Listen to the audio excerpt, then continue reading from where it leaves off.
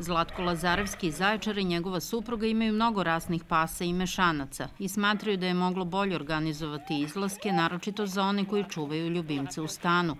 Iako su u prednosti jer žive u kući, oni sada pse redko izvode, jer im ovaj način šetnje nije dovoljan.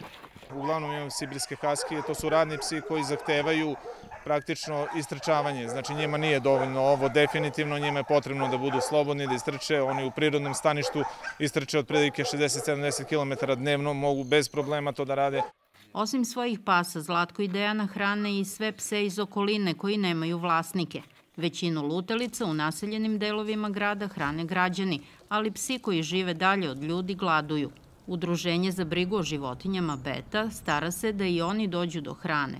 Ja sam u, u, u akciji hranjenja svaki dan kad mogu, s obzirom da imam i svoje obaveze, a imam i dosta životinja u selu koje su već spašene i zbrinute kod mene.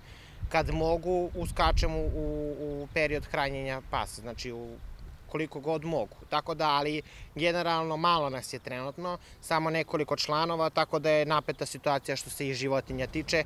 Velika akcija sterilizacije i kastracije u Zaječaru i selima, kažu u Beti, biće nastavljena čim prođe vanredno stanje, jer se samo tako može uticati na smanjenje lutalica.